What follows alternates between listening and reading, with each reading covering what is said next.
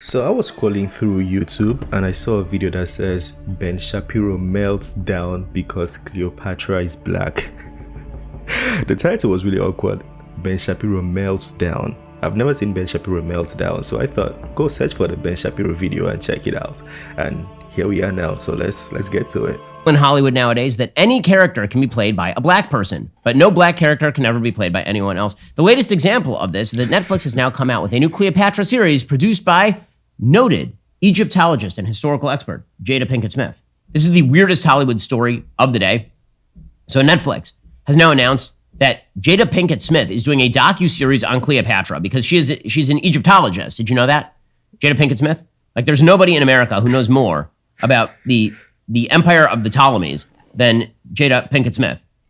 And um, the racially ambiguous queen Wait, is is the problem Cleopatra or Jada Pinkett Smith? Because I want to know where he's attacking from. it really seems he's from Jada here. now being depicted as black in the Queen Cleopatra docu series.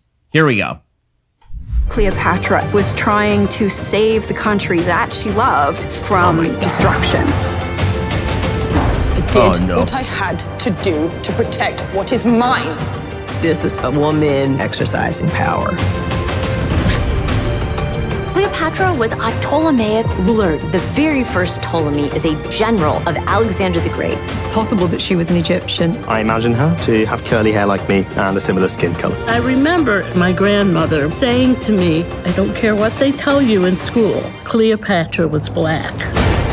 She has become an icon. I am a god. I don't care what they tell you in school is a pretty good Her story resonates summary, summary of this. With every woman. I don't care what they tell you in school is a really, really good summary of this. Okay, for people who don't know anything, like literally anything about world history, let me explain that Cleopatra was probably I just want to know if the movie is good. Like, if it's out, I just want to go watch it and see if it's good. of Greek extraction. The reason that we say this is because she was almost undoubtedly of Greek extraction. Okay, she was part of the Ptolemaic Empire. Here's how it worked. After Alexander the Great conquered vast parts of North Africa and the Middle East and then died, this would be in the 4th century BCE, there was a giant sort of conflict that broke out among his chief generals. Okay, there was the Seleucid Empire. That was one area. One of the empires was the Ptolemaic Empire, right? Ptolemy. Okay, Ptolemy was one of his was one of his regional governors, and he ended up taking over that area. He was Greek. All of his descendants were therefore from him. They were Greek. The notion that Cleopatra was black is is silly. I mean, again, you're allowed to do this in Hollywood because, of course, the only thing that matters is our weird It looks like he's breaking down. It really looks like the man is breaking down. parochially American perception of what race matters. It's super, super strange. By the way, we actually have sculptures of Cleopatra. It's not as though there, there's like nothing to indicate what Cleopatra looked like. There's a Roman sculpture of Cleopatra from like the mid first century, around the time of her visits to Rome, but could we tell the skin color from the sculpture? and she looks Greek because she was She looks probably Greek. Greek. This- like it was amazing. The entire Hollywood crowd went totally nuts when it turned out they were But also, we can say this is acting, right? Like, we've seen people who are not gay act gay in movies. We've seen gay people act straight in movies. So can't we say Cleopatra could be black because he's acting? I don't know, like the whole story. I cannot say if she was black or white. I'm not a professional. I'm not an Egyptologist. I don't know what, what that term is, but I'm not that. trying to cast Gal Gadot as Cleopatra. Gal Gadot undoubtedly looked a lot more like Cleopatra than anybody who's being cast in this particular production. Now, again, you can cast however you want, but I've noticed a certain pattern in Hollywood, which is that people who clearly are not black are now being cast as black. But if you ever did the reverse, then it would be then no way, right? That would be racism of the highest order. Is that really true in Hollywood? In fact, you'll recall that there was a there, there's this Shonda Rhimes show, uh, Bridgerton, in which what, what which is Queen Victoria, is it? I, I don't watch Bridgerton because I'm a dude and I and I have testicles. So Bridgerton is um you know a Toxic masculinity alert, show for women, and uh, and also a, a racially strange show in which a bunch of white people are cast as black people, sort of like Hamilton. A bunch of white people are cast as people of color, and all the rest. And again, if we're just going to do race neutral, neutral casting on everything, I'm I'm here for it. Fine, all right, that's that's cool. But that also means that Ryan Gosling needs to be up for Martin Luther King, right? It also means that we're going to need Christian Bale as like Booker T. Washington. Like the, the, Idris Elba has to be the next James Bond. either you do it or you don't. Okay, you don't get to make up. In this particular case, it's even worse because they're actively trying to claim a thing that was not true for purposes, presumably, of suggesting that there was a whitewashing of Cleopatra's history. That there was an attempt to whitewash Cleopatra by turning her into a white lady, but actually, she was probably a black lady. Now, again, she had particularly distinctive facial features. There, there are paintings of her at the time. There are sculptures of her at the time.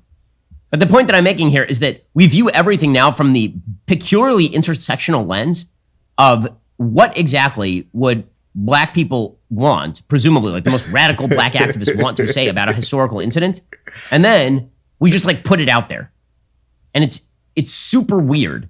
Netflix putting its money behind that sort of thing. Again, Jada, why is Jada Pinkett Smith doing a thing about Cleopatra? Like, explain to me. It's super strange. But this thing might not be like a Netflix thing. It could just be Jada Pinkett Smith approached them with an, with an idea that seemed to make sense and logically or business wise, it was feasible. So they put money behind it. You know, you can't really blame Netflix for this. I don't think so. You know, the idea seemed good. Black people are going to watch it because black audience. But I don't really know. Like, should this be a big deal? Like, should he be ranting about this? White people, please let me know if you think this is a big deal. Yeah, yeah, yeah, yeah, yeah. Again, like just a little bit of accuracy would go a long way. Well, none of this makes. I don't think it matters. You know, I don't think it matters. If it's a good movie, I don't care who acts it. But I feel like the idea here might have been to appeal to a black audience. Maybe I don't. I don't know. I'm just speculating also. But I don't think it matters. If it's a good movie, I'm still gonna watch it, be it white or black. Also, I think he's acting, so it shouldn't really matter from the black side or from the white side. I know some black people would argue that a white person shouldn't act a black a black character. I've heard that kind of arguments. Um, I, that that might be a real argument. So yeah, it, work, it should work both ways. So I see why Ben Shapiro might be right in his arguments.